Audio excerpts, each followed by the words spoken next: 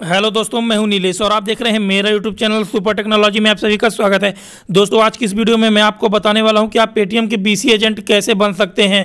हालाँकि यूट्यूब में मैंने बहुत सारे वीडियो देखे जिसमें बताया जा रहा है कि एक फॉर्म फिल करके आप पेटीएम के BC एजेंट बन सकते हैं, लेकिन उसके लिए क्या एलिजिबिलिटी एवं क्राइटेरिया एवं क्या डॉक्यूमेंट की आवश्यकता पड़ेगी, यह किसी ने नहीं बताया है।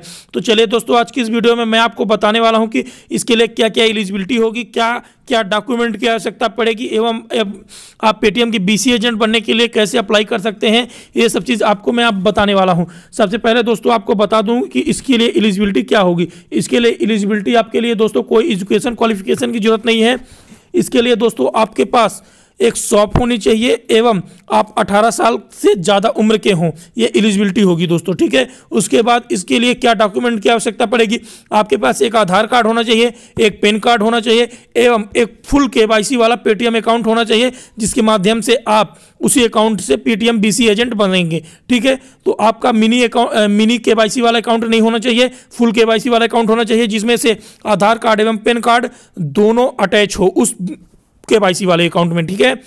तो दोस्तों, आपको डिस्क्रिप्शन बॉक्स में एक लिंक दे दी है मैंने। उस लिंक को आप क्लिक करेंगे तो आपको इस तरह का एक फॉर्म ओपन हो जाएगा। इस फॉर्म को ओपन करने के बाद दोस्तों, आपको फॉर्म फिल कर देंगे तो आपके पास एक पेटीएम के एजेंट आएँगे और ये पेटीएम के एजेंट आपके ये वेरीफाई करेंगे अकाउंट को और वेरीफाई करने के बाद आपको पेटीएम का बीसी एजेंट बना दिया जाएगा। उसके लिए दोस्तों, इस फॉर्म के बारे में मैं आपको बता दूँ, सबसे ऊपर लिखा हुआ है कि स्टार्ट पेटीएम के फैसिलिटी इन योर शॉप, यानी आपके पास एक शॉप होनी चाहिए। शॉप के माध्यम से ही आप पेटीएम की के लोगों की कर सकते हैं। तो इसके लिए सबसे पहले आपके मोबाइल नंबर यहाँ पर डालना है दोस्तों। जो भी आपका मोबाइल नंबर होगा, यहाँ पे एक मैं मोबाइल नंबर डाल के दिखा देता हूँ आपको, ठीक है? ये एक मैंने मोबाइल नंबर डाल दिया यहाँ पे आपका नाम डालना है दोस्तों, ठीक है? यहाँ पे अपना नाम डालना है। यहाँ पे आपका बिज़नेस एड्रेस, यानी आपका जो शॉप का एड्रेस होगा, यहाँ पे अपना शॉप का एड्रेस डालिए। यहाँ पे आप अपना पिन कोड डालिए दोस्तों, ठीक है? यहाँ पे पिन कोड डालना है, ठीक है? और यहाँ पे आप अपना सेलेक्ट स्टेट चूज़ कर लेंगे। जिस स्टेट के रहेंगे आप, ठीक है? मैं एमपी का हूँ, मैं एमपी चूज़ करके आपको दिखाता हूँ। यहाँ पे दोस्तों आपको लिखा है do you have fixed outlet यानी फिक्स आपके पास आउटलेट है तो आप यस कर देंगे, यानी आपके पास एक शॉप है। अगर यहाँ पे दूसरा ऑप्शन है are you an existing customer service point of any other bank आप ये किसी और बैंक का सर्विस कस्टमर पॉइंट आपने लिया है तो अगर आप लिए हैं तो यस कर देंगे, अगर नहीं लिए हैं तो नो कर देंगे। अगर आपने लिया हुआ है तो आप पेटीएम की बीसी एजेंट को नहीं ले पाएँगे, ठीक है दोस्तों? तो आप नो कर देंगे और नो करने के बाद उसको जो है तो आपको अप्लाई कर देना है, ठीक है? उसके बाद आपको मैं दिखाता हूँ, अगर नो कर दिए तो इस तरह का रहेगा, ठीक है? तो और फिर उसके बाद आप इसको नो कर देंगे। नो करने के बाद आपको इस फॉर्म को सबमिट कर देना है। सबमिट करने के बाद आपको दो या तीन दिन बाद आपके पास पेटीएम का एक बीसी एजेंट आएगा दोस्तों।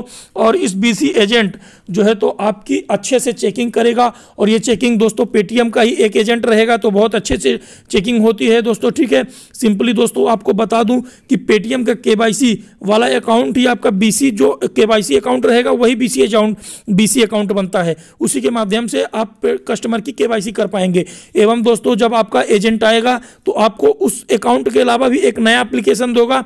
देगा दोस्तों, जिसका नाम रहता है पेटीएम का एटीएम इस पेटीएम का एटीएम के एप्लीकेशन के माध्यम से दोस्तों आप लोगों की वेरी के वाई सी कर पाएँगे। एवं ये एप्लीकेशन दोस्तों आपको प्ले स्टोर या गूगल में नहीं मिलेगी। ये केवल पे पेटीएम का एजेंट ही देता है ये के वाई सी वाला एप्लीकेशन। ठीक है दोस्तों, अगर आपको इस वीडियो में कोई प्रॉब्लम हो तो आप कमेंट बॉक्स में पूछ सकते हैं और अगर आपको वीडियो अच्छी लगी हो तो लाइक एंड शेयर करें और इस तरह की मेरी नई वीडियो पाने के लिए आप मेरे चैनल को सब्सक्राइब ज़रूर करें। थैंक यू दोस्तों।